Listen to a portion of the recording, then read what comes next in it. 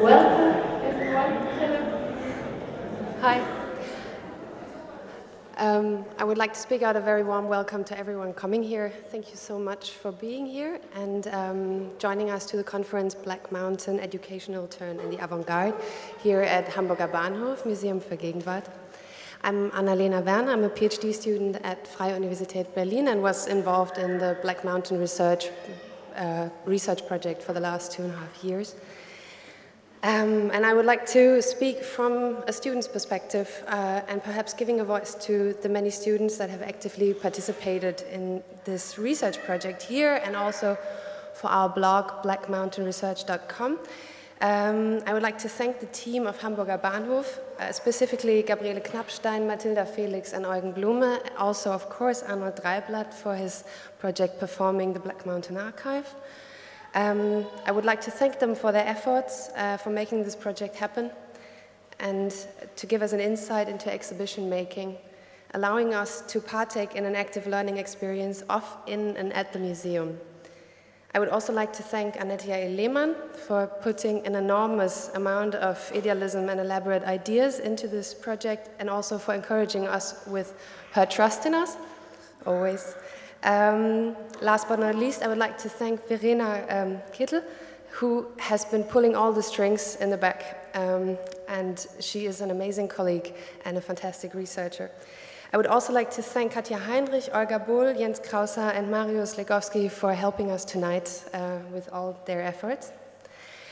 For many of us, the working with a subject such as Black Mountain has evoked idealist and radical thoughts, as for example, interdisciplinarity and collaboration, while at the same time it has confronted us with the difficulty of integrating these ideas into our current existing structures in education and art. It also made us question established up-and-coming concepts, such as the debate about artistic research or the production of knowledge. The upcoming program mirrors this ambiguity, and it seems to me as if most of us would like to, but cannot uncritically, believe in a revival of what we imagine Black Mountain to have been. One of these critical thinkers is our keynote speaker, the American art historian and writer James Elkins, who I'm very happy to introduce to you now. Elkins, who once began his career as a, as a painter, very, very long time ago, as I heard, um, is uh, now a professor in the Department of Art History, uh, Theory and Criticism at the School of the Art Institute in Chicago.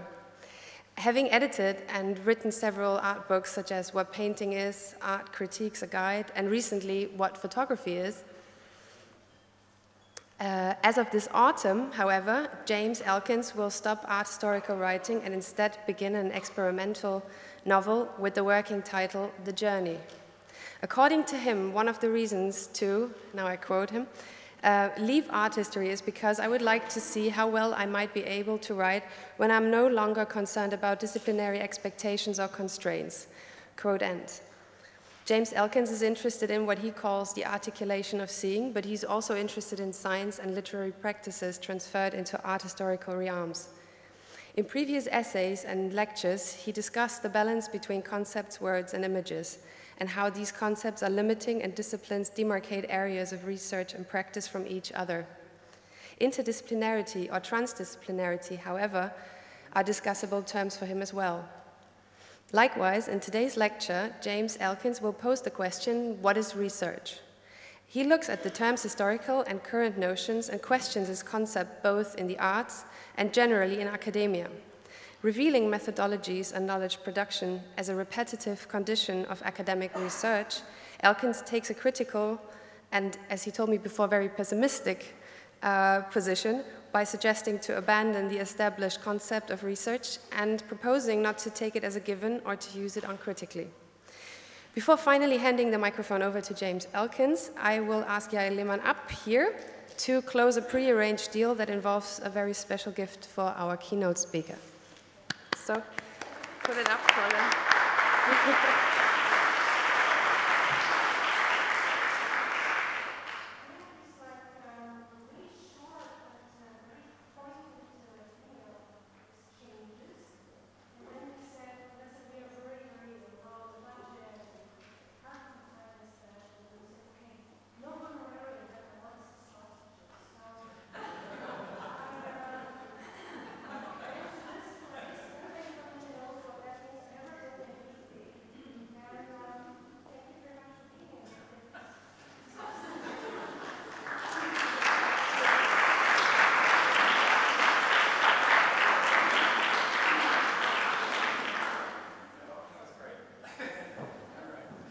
Okay, thank you very much.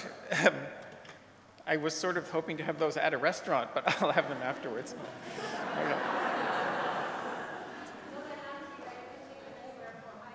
Yes, okay. Okay, thank you. Well, um, so I, I'm, I'm, very happy to be here, but I think that my function here is, um, is probably to be the, the, the, pessimistic beginning of the conference. And I think the conference will become more optimistic as we go along, and when we get to IRID, I think it will be more, more, um, more topical and more optimistic. The reason I say pessimistic is because I, I uh, follow the literature of the practice-based PhD, and that's what I'm going to report on tonight how the practice-based PhD in different countries imagines research and how it imagines knowledge.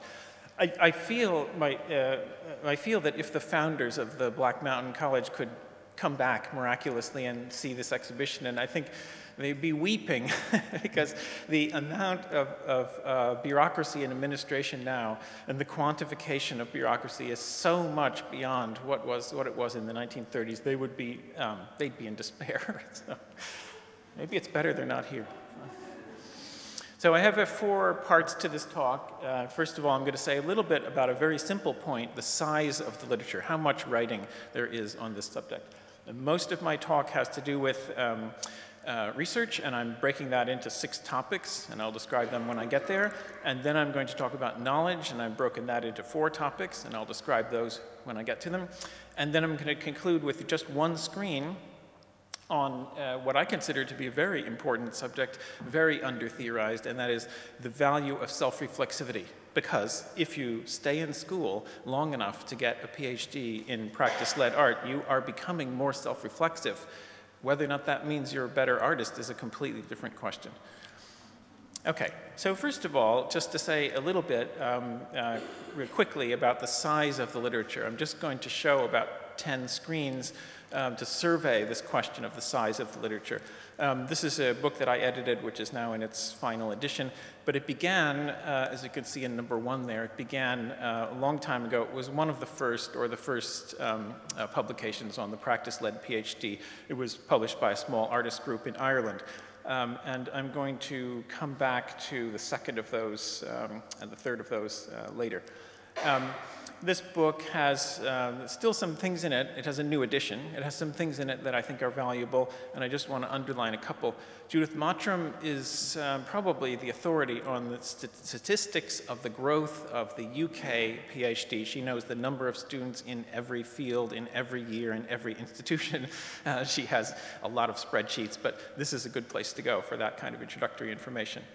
Um, and in case you don't know, George Smith is an interesting outlier, statistically speaking, an unusual uh, program that he runs, because it is the only practice-led PhD in the world in which the students are not invited to bring their work in, uh, and uh, it is theory only. And George he's a nice person, and I don't, I don't want to criticize the whole program, but I don't understand how he knows what theory every student should know before he meets the student and without seeing the artwork. But this is one of the radical possibilities of this new, these new sorts of initiatives. And then I just um, want to underline here a few people that, that I'm going to re, uh, return to later in the talk. Um, Ian Biggs, um, Henk Slager, I'll have some things to say about him. Jonathan Dronsfield on my very last screen about self-reflexivity um, when I get there. Um, so these people, are, are, names are going to come up later in the talk.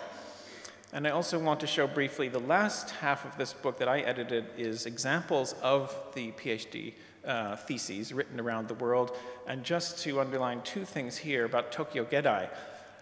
Uh, I think it's very uh, little known uh, in Europe and North America that Japan had the, the practice-led PhD as long as the UK. Japan has 27 art universities that grant the PhD. They have an entirely separate culture of the, of the practice-led um, art degree. Um, they have a lot of, um, these are small programs obviously, but they have a lot of diversity and it's a very interesting scene. It's led by Tokyo Geidai uh, and they have, their documents are largely online. Okay, so to continue this, oh yeah, and I can't resist saying that this book of mine has cartoons in it uh, done by an MA student because the field is so boring that it's important, it's important to have at least a little bit of visual material. So Sean Belcher is the cartoonist who did this. So just to give a general sense of the size of this literature, there are publications like Art School Propositions for the 21st Century, which are written from outside of the world of administration and bureaucracy, written by working artists, as you can see, um, directors and so. But most of the literature is not like that. Most of the literature is uh, very bureaucratic, and I'll get to it in a second. Um, this is another um, book that I wrote, which is about art critics, uh, art critiques, and I want to make a point in, in passing here uh, that the, this book had to be revised because the higher level practice-led art education involves a completely different kind of conversation between teacher and student. It is not the same as the critique that art students will have had from their first years in the bachelor's university art academy up through their master's or MFA. It's a different kind of conversation. And this, this higher level conversation is uh, suffused with, it's permeated by the administrative literature that I'm going to be talking about. So we had to write a, had to write a separate section of that book. Um, so there are online journals like this one, the Journal of Artistic Research. A couple of my uh, ex-students um, started. And here's a little sampling of um, some of the books. The vast majority of this literature is written by people who identify themselves as art educators uh, and administrators. Um, those are the ones producing most of this kind of um, literature. Henk Slager, who I'll come back to uh, several times later in this talk, uh, is very prolific, and here's a book of his that I'll be mentioning later, um, and his own uh, journal that he edits called the MaHKUzine, the MA magazine, MaHKUzine. Um, he works in Utrecht. Um, and another selection. On the left is the largest book so far that's been written on this subject. Um, it's, a, it's a big, heavy book, and I'm going to be showing some uh, of the essays in it uh, later on. And on the right, one of the most widely consulted, a special issue of uh, Texte zur Kunst that's widely read. Um, so this selection, I could go on and on. Uh, a lot of these publishers are based in the UK, but a lot of the literature comes out of Scandinavia and Northern Europe and, uh, and, and the Netherlands, um, and increasing also in North America. That's an I.B. Tauris book on the left, that's a Sage book in the middle. The whole publishing industry is interesting as well, but don't have time to go into that. Um, and then there's the entire world of design research, because design have had the PhD for a long time, and they have their own culture of it. Um, and I'm going to be quoting later uh, by um, some pieces that Ilpo Koskinen, uh, who's the editor of this book, uh, that he wrote um, for the school in, um, in Helsinki. Okay. So, oh yeah, one more person, um, Henk Borgdorff, who I'm going to be returning to. This is maybe the most interesting recent book just in the last couple of years, the one on the right on this subject, and I'll come back to him as well and Intellectual Birdhouse. I have two more screens of these to show. Okay, so I'm going to make a very simple point about this. Uh, the point is that the literature, I think, is now too large for any one person to read. I've been trying to keep up on it, I still do try, but in my opinion, 2011 was the last year when it was possible for a single human being to read all the literature on this subject. Um, and, and, that may seem like a, a, trivial thing, but I think it's actually a very important thing because it means this is not really a subject anymore. Uh, and it also means that there are now regional and national variants of the practice-led, the idea of practice-led research in different parts of the world because people are starting to read different literatures. Um, there is a little bit of writing that's been done on this, and this publication has an essay in it, several essays, one of mine and a couple of others, um, which address this question. It's becoming visible as a question. At the same time, though, the SHARE network, uh, who, uh, who put this publication out, um, are trying hard to reach out to East Asia and Southeast Asia. And so at the same time, there's an internationalism about this subject. But this is all I want to signal in this first part of the talk. I just want to say that there is no such thing anymore as an expert on this field. The field has, has become monstrous. Okay, so on to research. I'm going to divide this into um, six different um, subjects. Um, first of all, that I want to make the point that uh, research as a term, as a concept, is a starting point in most programs around the world. Um, and um, as you already heard, I'm very skeptical about this idea of research and also at the same time pessimistic about the idea of changing it. But the, the Black Mountain paradigm, that is to say, um, escape with no budget um, and, and, start your own school, is always available. And um, all of the non-accredited institutions that are currently um, you know, springing up everywhere are, are you know, full of potential in this regard. Um, and then I'm going to say a little bit about the UK debates about uh, research into art, because there are some confusing and overlapping possibilities um, having to do with the way that that's understood. Um, and then one screen or two on alternatives to the word research. Um, this is one of the things I end up doing often is going around to um, these programs that are starting up and, uh, and as consultant or as an advisor, and um, I always suggest that there are words other than research that can be used in many situations, and it's not necessary to put research into all the literature for every student. Um, doesn't usually help, but I always I try anyway. Um, then the question about scientific research. How close to scientific research should art research be? How close can it be? How close is it already? Um, and a, a, deeper question that often follows from that one is uh, whether or not artistic research should be defined or it should be counted as an undefinable term or as an, given as an undefined term. Should it be a placeholder for what happens or should it be something that you start out by uh, trying to uh, frame? Um, and then last, a couple of screens um, on how research is assessed, because that's the growth industry um, throughout the EU, thanks to the Bologna Accords, thanks to Margaret Thatcher. this is what's spreading around the world. Okay, so on to these six uh, topics. So first, just to make this general point about uh, research being ubiquitous, um, it's universally a starting point in programs, not just in the arts. So my screen here is uh, from a meeting of um, Austrian universities, not just in the arts, but in every subject. And you can see from the quotation at the bottom, that's a very typical that's a very typical formulation that the core um, component of doctoral training in all fields is advancement of knowledge through original research. Um, and some universities like Harvard say significant original research, but it's usually just original research or just research. So the two words, research and knowledge, are already in place uh, in university uh, administrative literature, and that's one of the simple reasons, a practical reason, why they so often appear in, um, in, the, uh, in practice-led research programs. Um, so in the, in the studio art PhD field, a number of institutions uh, try to address this question of research um, by proposing or by requiring um, courses. So here's University of Reading, which, has, which is one of these that has um, uh, classes that are required. There's a number of uh, examples. This is the, um,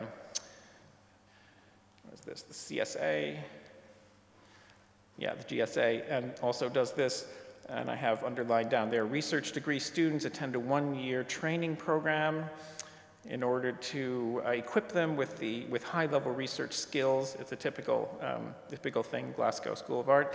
Um, and then I have one other example of this, and that's the Royal College of Art, which also has um, uh, methodology courses. In this case, they're more practical. They're aimed toward uh, the viability of their graduates to develop transferable career skills. So there's a number of different forms of these, but this is a new pedagogic, um, it's a new pedagogic structure which you can find in a number of institutions that's designed to try to familiarize the students and the faculty with what, with what it means to consider art as research that produces knowledge. And there's, I've underlined that, to prepare them for research at a higher level um, is the point of that particular program. Um, so many of these publications that I'll be looking at start out by assuming that research is central, uh, and that includes Henk Slager's very interesting book that I'll have more to say on uh, in a few minutes.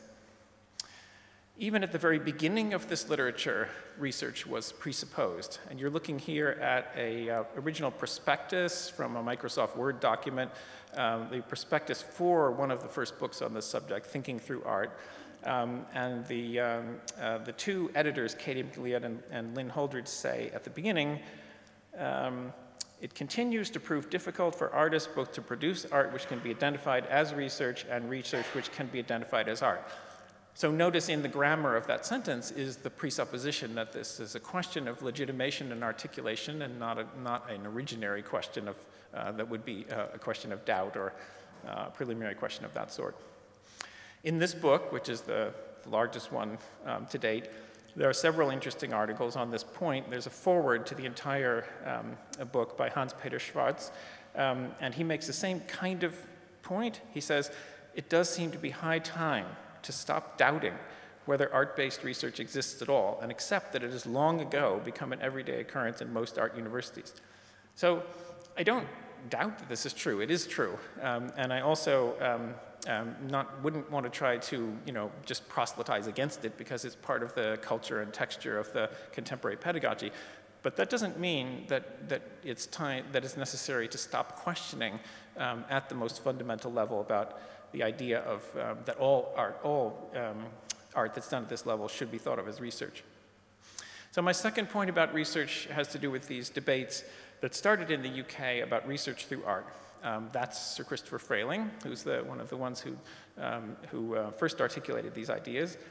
And I think here I have to pop out of my presentation a couple of times in order to get this going. So I have a little um, uh, spreadsheet, of course, because that's inevitable in this field, um, in order to make sense of the prepositions that are used to articulate this in English. And uh, this is the original literature, so it's interesting to, to ponder it in this form. So down the left column, you have research to art, through art, into art, for art. Um, and when I was looking at these texts, I noticed that nobody has done much with research in art, so I just put it in at the bottom. so that one's free, that can be taken. Um, so Chris, uh, Fra Chris Frayling um, has, uh, took as his starting point um, an earlier text by Herbert Read I have there in the second column. And uh, Read had uh, used the expression research to art, um, which as you could see had a, a, meaning for him about techniques and materials, not really pertinent to what we're going to be talking about. The three um, categories that Frayling uses, through art, into art, and for art, are, are differently pertinent. Um, so the second one, through art, and, the, and this next to the bottom one, for art, I'm going to show again on the next screen. The middle one, into art, is not problematic, as far as I know, not, is not the focus of any uh, discussions, because for him it just means art history. If you research the Mona Lisa, then you're researching through art in Frayling's way of thinking of things. Um, but, but if you look at the other two, I think uh, they show the complexity of this um, pretty well. So the form of research through art, this is the same quotation as the last screen, according to Frayling, is research in the field of art and design, for example, MPhils and PhDs that investigate technologies. And he calls this uppercase research, systematic disciplinary inquiry. And he's not primarily interested in this. It's not the focus of his interest. His interest in his original essay and since then has been research for art. Um, and here I take apart the quotation from the last screen into three different rows here. So the first part of what he said was that research leads to the production of art. This would be relatively unproblematic, but if that was all there was to research for art, then research for art would be more or less the same as research through art. So that, that particular line, um, research, that that line is not the most important one. The more important ones are the two bottom ones. Research that leads to art embodies the research, he says. And this is the central problematic possibility that I'll come back to in a minute, and also when I talk about knowledge. Um, and that word, embodies, is crucial to whatever sense is going to be made of this claim that knowledge is somehow enacted, embodied, um, but existing in various forms, in or as art. And then at the bottom, to finish the quotation, he says, he calls this lowercase research or searching, which implies that it's free of the strict research methodologies that he associates with sciences and also some social sciences. But of course, it leaves it open, and he does this intentionally. This is, uh, I'm not critiquing him here. He leaves it open um, how you might think of that kind of lowercase uh, research. And this is the last time. I think this. I think only these three screens malfunction. I hope finished with the malfunctions. So just to show you how complicated this kind of thing has become in the hands of art educators. Here's a book by Graham Sullivan, uh, and I'm not going to read this screen, but you'll see what goes on here. He tries to combine prepositions. So Graham Sullivan's book uh, has research in and about art, or in and with art, or in and through art. And I, I personally can't remember these. I have to keep consulting the, the so I'm not going to read them. But I just want to show you that this is when, when, art, when the language of art education gets a hold of this kind of material, it can divide and subdivide and subdivide. And, and there are a lot of graphs and charts also in Sullivan's book. Um, there are moments where these kind of uh, things make sense, but as I'm sure many of you know, the big danger in today's administrative climate is giving a chart like this to an administrator who's interested in qualitative assessment because they will give you back a chart that's 10 times longer and has prepositions you've never used. Okay, so third topic under research is some alternatives to research. And by the way, these uh, screen, I just put pictures in the background of my screens because I don't like to look at gray or white screens all the time. And sometimes they are pertinent and sometimes they're not. These are not pertinent. so just one screen on some alternatives to research. These are words that are sometimes useful, even in administration, as a way of thinking around or through or past um, the idea of research. First of all, there's inquiry or investigation.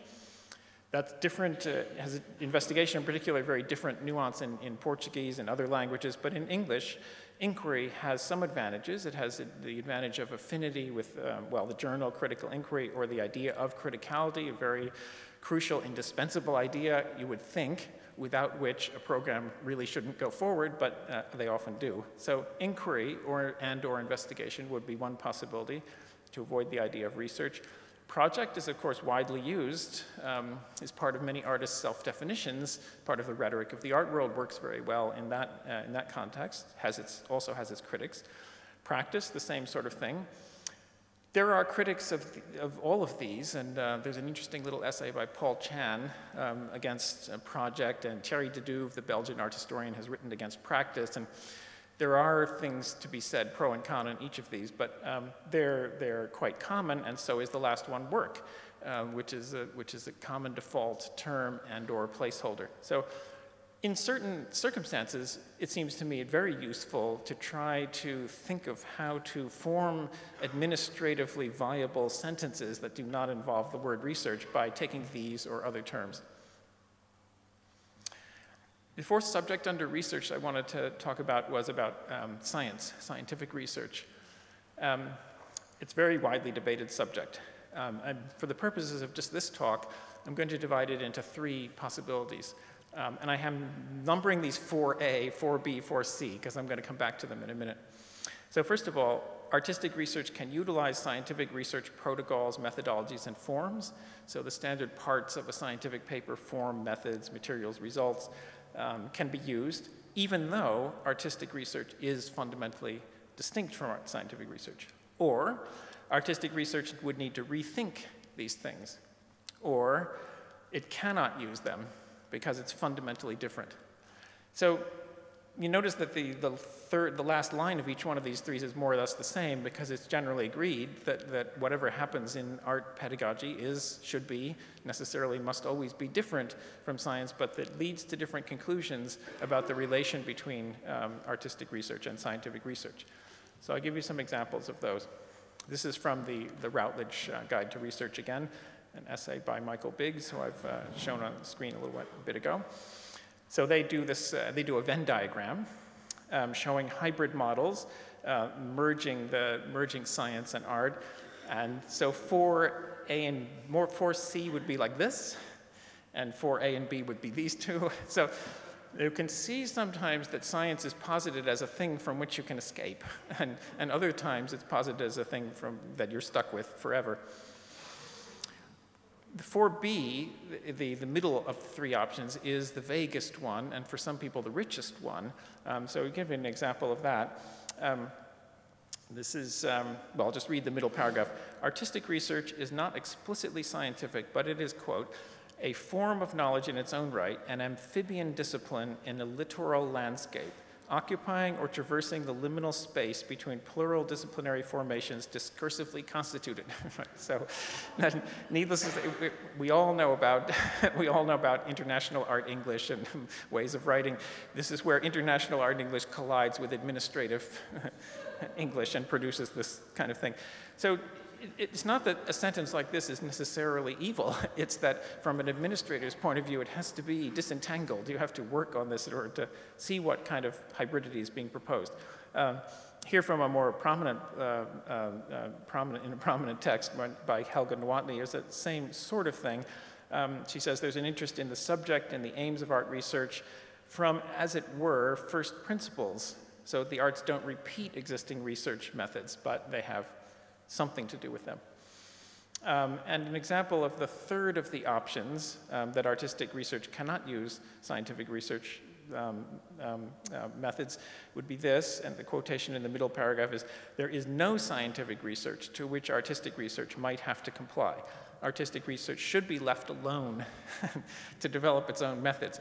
In some of this rhetoric, you can hear the administrators looking, talking to the deans and other faculties, you know, please leave us alone.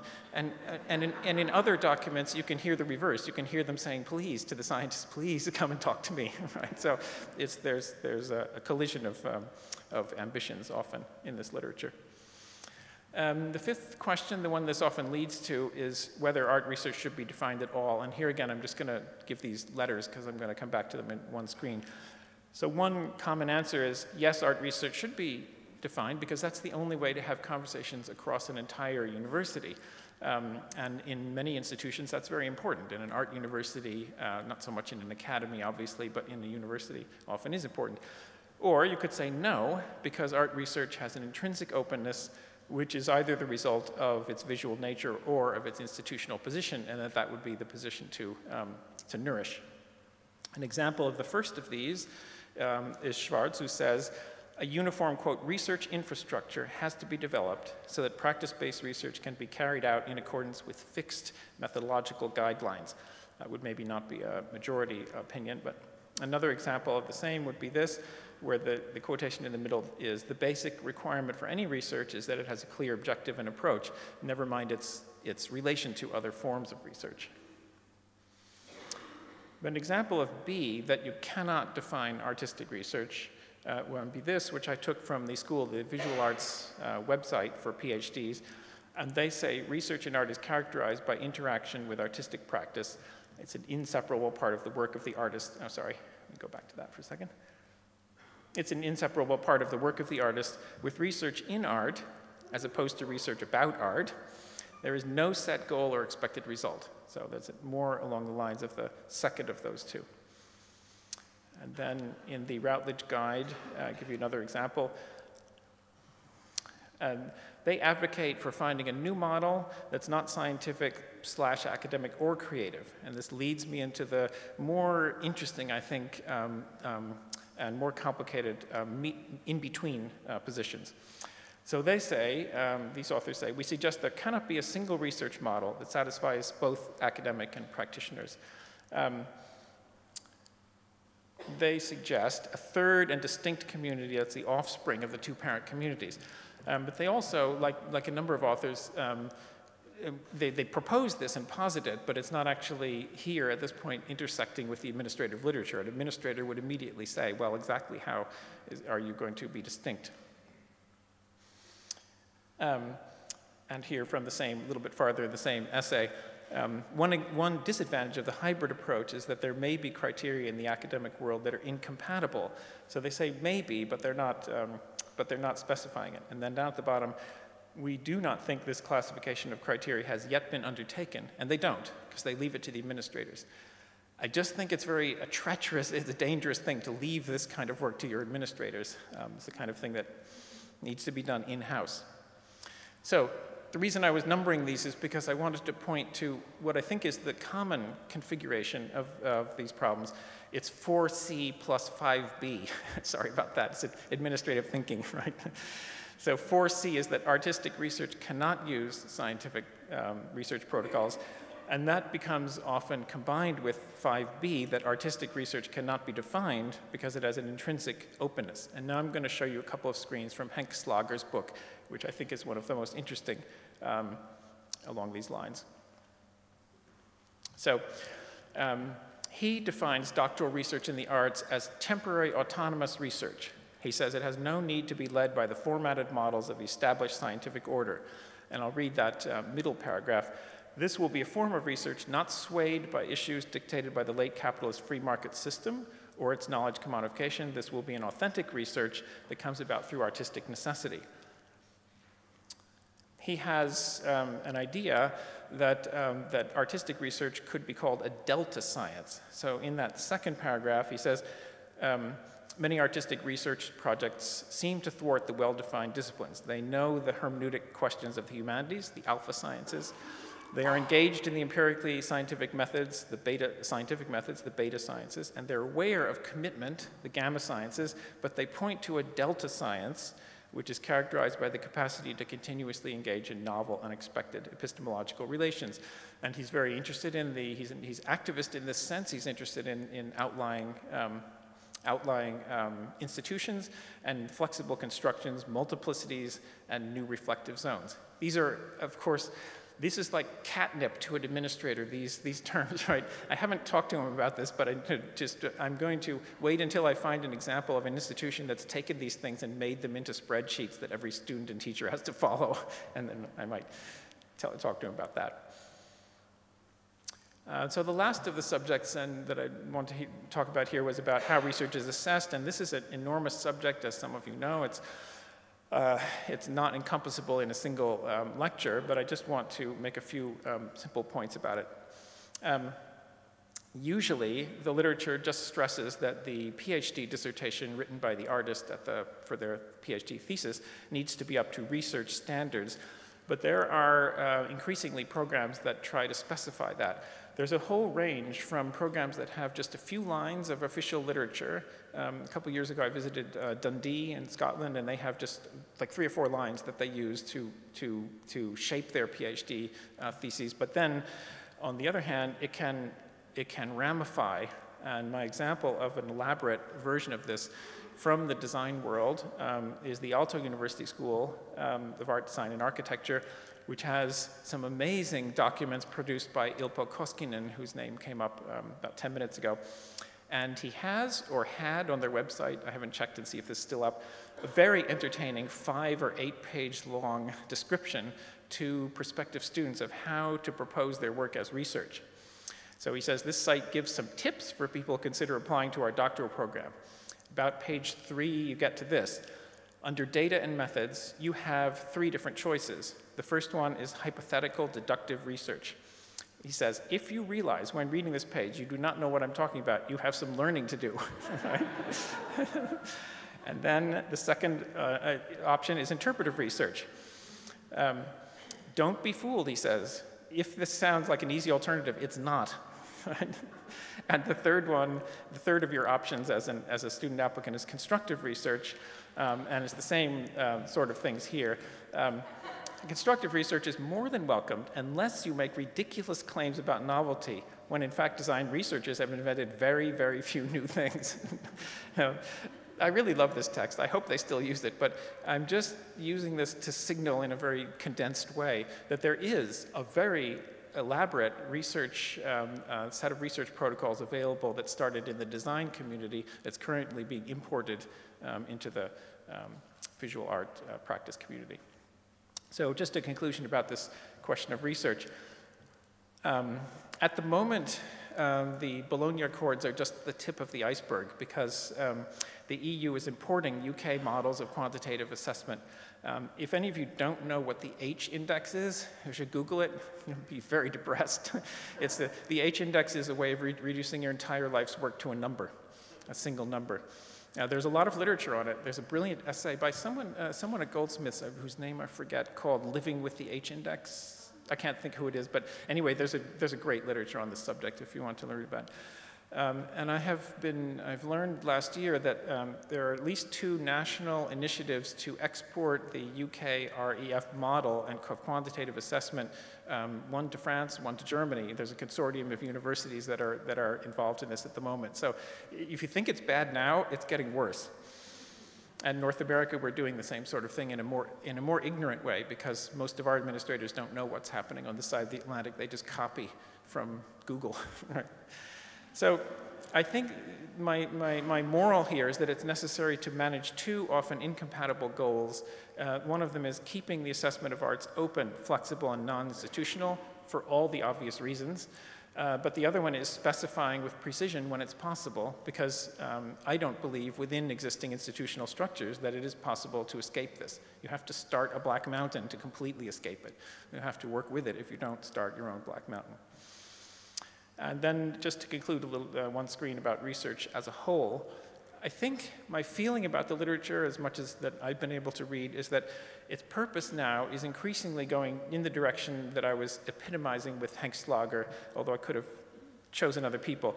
That is that the literature is produced uh, not by the higher level administrators, but by the chairs and, and uh, the people in departments, is to assert political and institutional freedom um, and self-contradictions and omissions in this literature, like some of the complicated sentences, are tactical. That is to say, this literature can be read as, as, a, um, as a rhetorical, as rhetorical uh, gesture or an activism. Um, and therefore, the, the, the, the, critical mass of this literature is increasingly at odds with the um, quantification um, that's often being imposed on it. Okay, I have less to, less to say about knowledge, but these two words always go together as far as I, I know.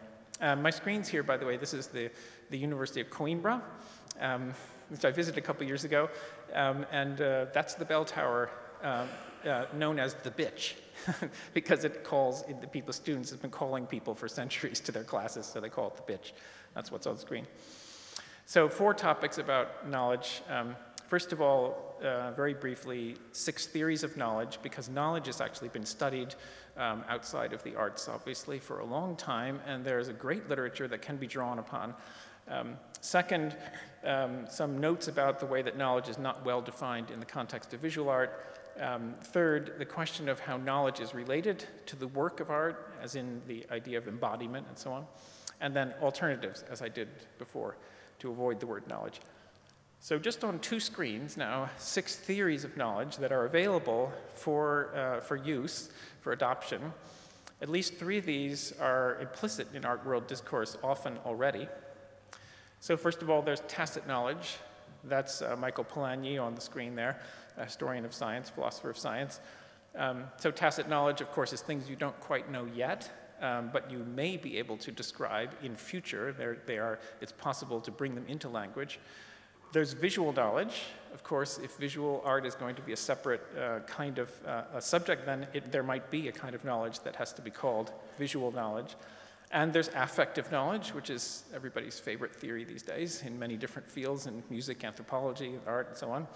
Um, if visual art is concerned with feelings and emotions and affect, um, then certainly its form of knowledge could also, or should also be thought of as affective. And there are, of course, literatures on these. Um, there are at least three other ideas in play in, the, in, in uh, philosophy of knowledge.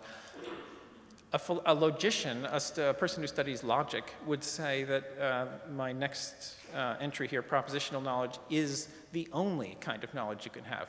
Because logic, logical propositions are the only available form of knowledge. Everything else is quasi-nonsense or nonsense.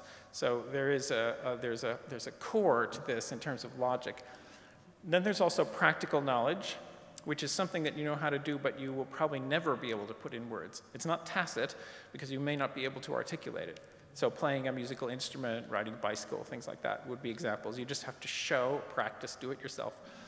And then there's phenomenal knowledge, phenomenological knowledge, intensive, lived, immersive experiences, climbing a mountain and so on, um, which are uh, somehow it seem synesthetic to use that, you know, the common way of thinking about um, things you've experienced. They have an intensity in memory, but they're also not transmissible. So you see, even with this list, that these can, form, can perform different functions. It's a way of thinking about avoiding the single word uh, knowledge. Um, then I wanted to say a little bit about how knowledge is not well defined in the visual arts. And I'm going to take as my example um, this text of Henk Borgdorff's, which is from that book, The Routledge Companion. Um, there's the text at the bottom of the screen, which I'll repeat on the next screen. Um, research, researchers employ experimental and hermeneutic methods that reveal and articulate the tacit knowledge that is situated and embodied in specific artworks and artistic processes. So I just repeat that here and just make a couple of comments about that. Experimental and hermeneutic are, are famously opposed or opposable. They're quite different. Um, uh, I'd say fundamentally different there. Tacit knowledge is widely debated and uh, famously ill-defined even for philosophers of science, and I'll say a bit more about that on the next screen. But I want to make a special point of the last of these. The, when he says situated and embodied, I think that avoids or leads a very crucial distinction between theories of how knowledge adheres in visual objects.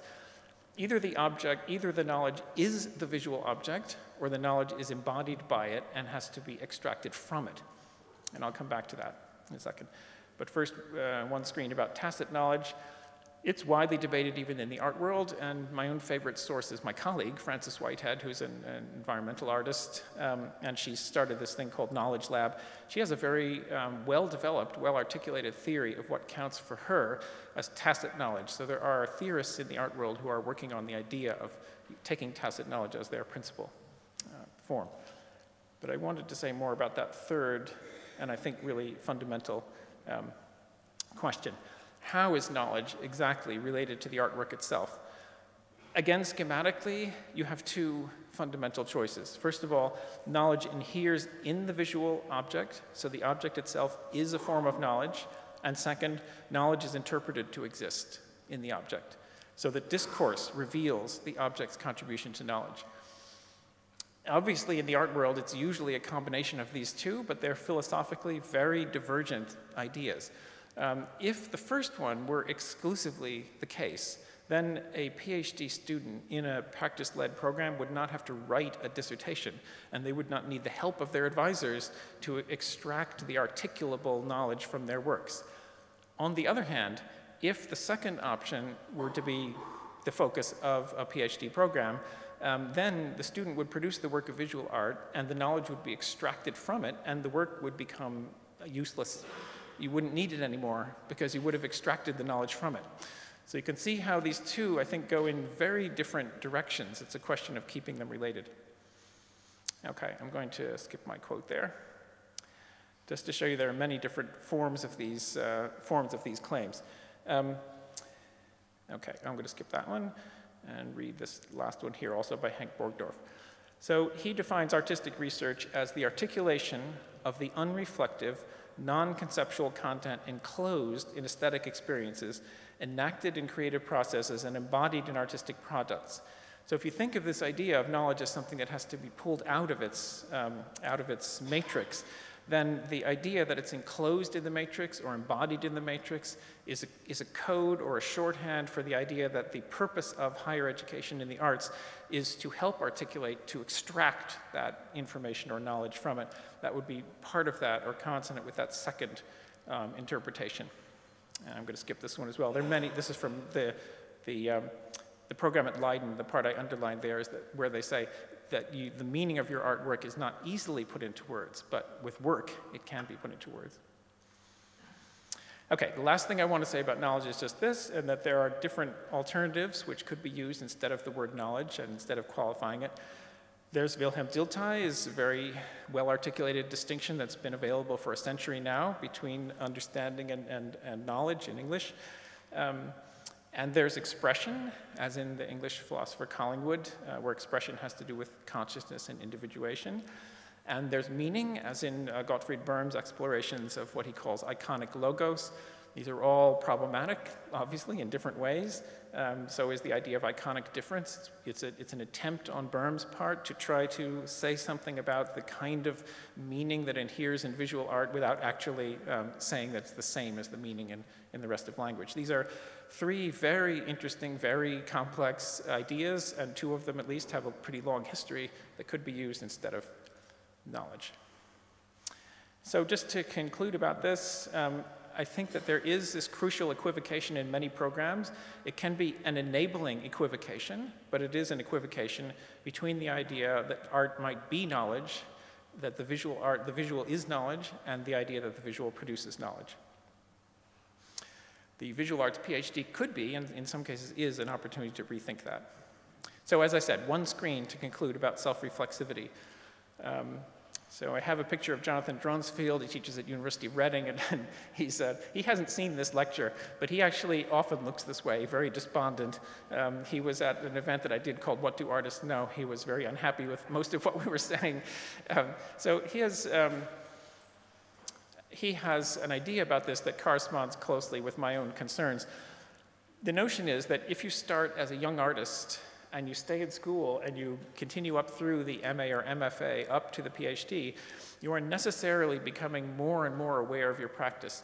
You're necessarily articulating it better and better to yourself and to others, and that is written into the rubrics and capstone achievements and assessment criteria of many institutions.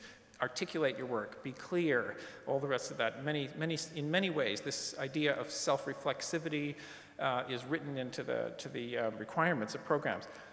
But it leaves, it begs a very important question, and that is, it makes the assumption that the PhD takes you to an optimal level of self-reflection, which for, for the production of interesting, good, new art, however you want to qualify that, seems to me to be very problematic because the, the history of art is absolutely full of artists who couldn't talk about their work at all. And no matter how much you paid them, they wouldn't be able to say what in the world they were thinking. Um, so the correlation is, is dubious.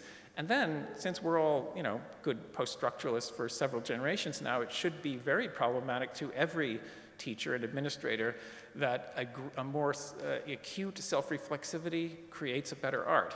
Uh, and yet that's the tacit assumption that's built into these programs. None of them that I know have figured out a way to make an artist less reflective as they go along through and get their doctorate. So that's the very pessimistic point that I want to end on. That's it. Thanks.